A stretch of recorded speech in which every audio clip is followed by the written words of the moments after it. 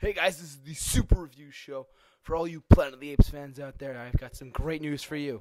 Is that the third Planet of the Apes film has its title. It's called War of the Planet of the Apes. Holy crap, that's pretty awesome. Now, what could this mean? Well, let's let's brainstorm a little bit, folks. Doesn't have to brainstorm.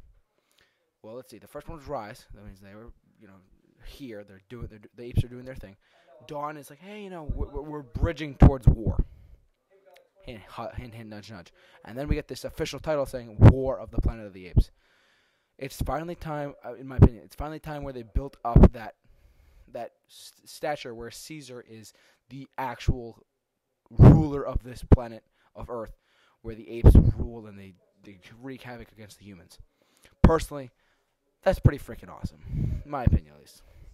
I know a lot of people haven't seen the original apes because they've only seen the new ones and they thought, wow, that's incredible. Holy crap, these apes are taking over everywhere. you know, stuff like that.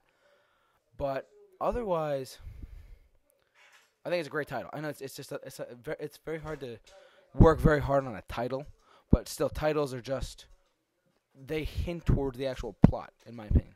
That they say war. Hey, that, that that sort of you know that that that hint hints towards it. Anyways, that's that's that's my take on it. Comment below and let me know what do you think about this title for for the new Planet of the Apes film. But for all your apes news, keep it locked on the Super Review Show. I will see you later.